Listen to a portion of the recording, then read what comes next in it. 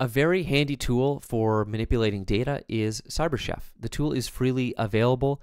You can run it uh, online through its hosted version, or you can download a copy and run locally. Uh, which, even though the logic occurs on the client side, I would nevertheless recommend if you're dealing with particularly sensitive data that you download a copy and run it locally. The tool itself is very simple. There are a set of operations which we can browse through or we can search through. Uh, we use operations to build a recipe, and that recipe is then applied to the input that we type. As you can see, I don't have a recipe currently, so when I type test, we get the output of just test, right? It's as simple as that. Uh, we can search for something that we might want, which could be as simple as base64 encoding. If I want to learn more about the operation, I can hover over it, and it gives us a nice little uh, information card. Uh, but I think we should know what 2 base64 does. It takes our input and it base64 encodes it. So if I drag that into the recipe, immediately you'll see that my output has been base64 encoded uh, because down at the bottom we have the auto bake on. So these rules or the operations in the recipe is applied uh, instantaneously. Uh, every time something changes, it will be applied and we'll see that reflected in the output. We could turn that off if we wanted to, just to play around with the input without the output changing and click bake manually, but I very rarely have uh, a case where I need to do that. Usually I keep auto bake on.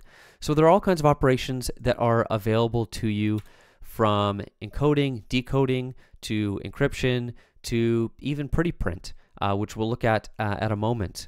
Um, and not only can you just type input here, but you can also load the input from multiple files or a single file. And I'm going to use the example of loading all the files in a folder because I think that could be a handy operation for many different use cases. So uh, I click that icon and what I'm going to do is I'm going to take this file of or this folder of JavaScript files and I'm going to load that into uh, CyberChef.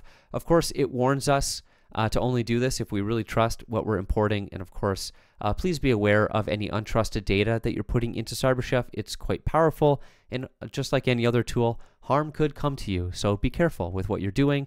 Of course, I know what we're loading in here, so I'm going to click Upload, and that now has taken all of those different files and put them in here uh, across different tabs of input. And there are all kinds of things that we could do with this. Um, in this case here, it's not super interesting. Uh, this is all JavaScript. Some of it is minified.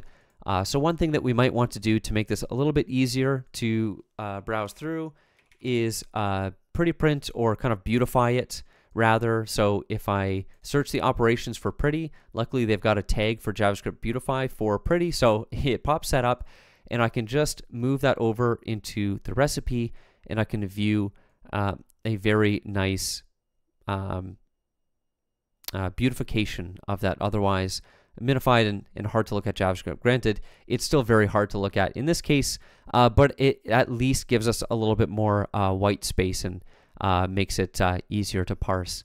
Uh, you can also combine, of course, operations, right? We could do this, and then we could base64 encode it, um, which you probably will never have a reason to use these two operations in this order to produce something like this. Um, but you can do it. You can take any operation and you can stack them uh, in any way that you would like, and it applies them in a sequence from top to bottom. And uh, there are many cool recipes out there that uh, people have created, and you can, of course, easily save your recipe or you can load recipes from others. I think a really interesting way to explore what you can do with the tool is going online and looking at the recipes that other people have uh, created and um, also think about different use cases that you might have. In particular, if you're working with Burp and you have uh, really weird uh, combinations of you know in, encoding, decoding, encryption, compression. Um, you might find that it's a lot easier to work with CyberChef and you know instead of Burp's decoder, which is a very limited tool, taking the data out from Burp uh, and putting it into into CyberChef. Um, maybe an easy way to do that if you're dealing with not much data is copying and pasting, but anything more than that, if you're dealing with you know large sets of data, it maybe makes sense to save those to a file and then load it into uh, into CyberChef. Uh, all sorts of things you can do with the tool. Of course, the uh, the best thing you can do if you haven't used it is to just get started with it with simple tasks and explore the operations that are available. I'm sure you'll come up with something that you find useful.